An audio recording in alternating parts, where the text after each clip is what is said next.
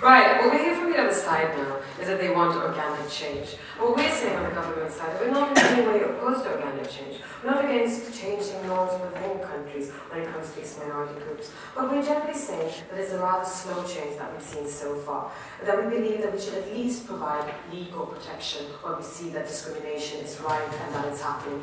And we do believe that we can say that it is actually happening in many EU countries today towards minorities like Roma and generally towards women when it comes to their rights of sexual prevention and freedom in that sense. So we do say it's a real problem, and we do say that we need to speed up the process which lawmaking will do. How does lawmaking do that? Well, laws generally shape the way we think. We do agree to that. By signaling from the state that there's certain behavior that we do not find acceptable, that you cannot engage in, and if you do so, we will prosecute you. So in the case that you bring up about South African gays being discriminated, we generally think, yes, it's sad that they are discriminated, but we do still think that they're better off when there's a legal system protecting them.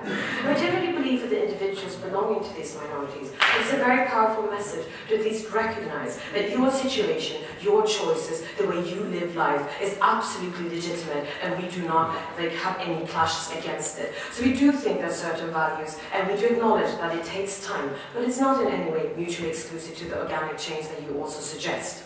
So what we also heard is that EU is a beacon of freedom and human rights, and it already is. Well, we generally say to some degree it is, but we can't just talk about it. We generally have to live it to make it credible. Because as Per points out in his first point, that having these rules or not having these rules affects the credibility of the EU as a soft power in the world. EU today is one of the strongest diplomatic powers, at least growing strongest diplomatic powers. They've negotiated many of the biggest clashes and conflicts around the world. And they've generally also been the largest donor of humanitarian and development aid. We do say there is a lack of credibility in one of the most prominent EU efforts that they are promoting in uh, making the world more developed and stable, or you do not even adhere to these norms in your own backyard, or you do not even provide the rights for certain minorities and groups back home, what credibility do you have when you go abroad and try to promote these values? We generally say, saying that you're a beacon of freedom and hope, freedom and hope, uh, humanity is not a good thing to just say. You generally have to do it to have credibility. But anyway, what also here from the other states is why states uphold discrimination. So in that sense, sort of say they just don't like these people, that's why they don't do it. Therefore we shouldn't enforce them because they'd be anti-EU. That's the response we get. But then saying people in general are not fundamentally against this. We don't believe that backlash will be as strong as they say people might have certain prejudice and ignorance to certain issues because they haven't been exposed to it in a sense. So we do not think that having a law that would protect certain groups, we don't think the majority of humans in the EU are so fundamentally opposed to the Roma community that having a law protecting them would in any way provide extreme, extreme backlashes. We do realize that for some people it's a principled issue. They might, for example, be religious. For example, be religious. We'd say the freedom of religion is an important principle, but sometimes you can't have principles and value them for just being a principle if they're attached to extreme harm and outcome from them.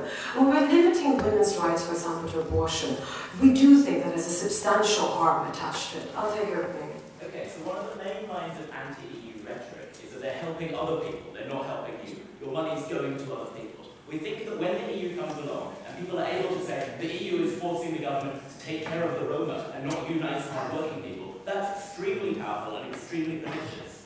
We don't really see how not being allowed to discriminate Roma would like hurt the average population and take away resources from them in that sense.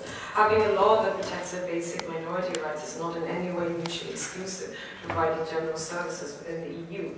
But what we do say is, does this translate into change of norms by doing these legal things? We'd say it maybe would, not immediately perhaps, but in the long term we believe it's more credible. It would take time, as we said, and it's not mutually exclusive. But as we have said, it is a send a signal from the state that we don't differentiate between citizens within a country or between different countries. That if you would have a right within one EU country, that right should be expanded to another one.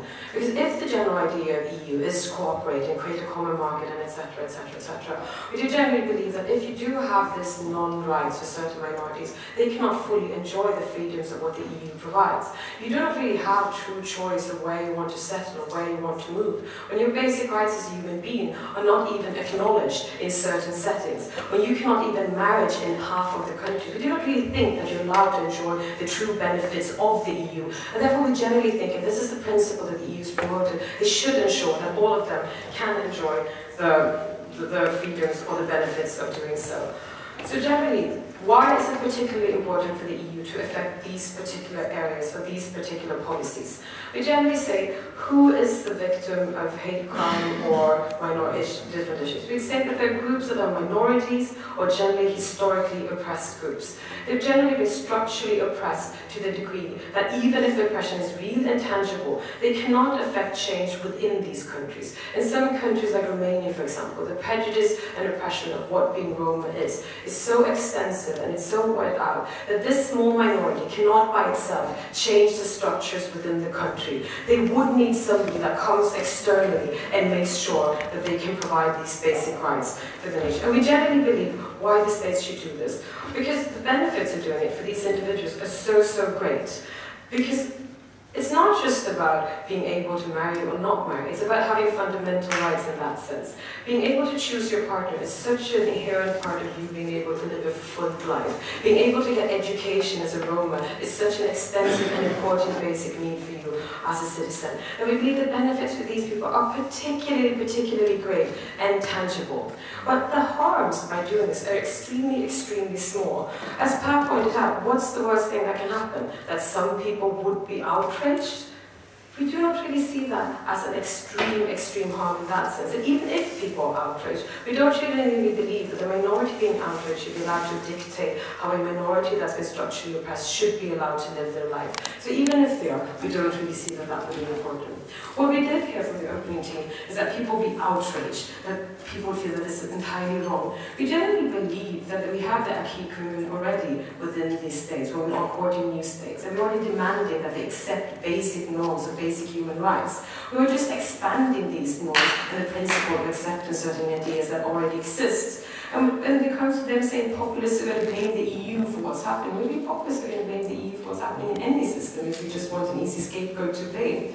So in this sense, we'd say there's a legitimate way of the EU doing this. They extend certain rights to the countries that are taking part, and for all the citizens of these countries to truly be able to enjoy the benefits that the EU provide, they do have to ensure that the minorities that are heavily affected and cannot work for this change within the system should at least get it. Therefore, we're very happy to propose.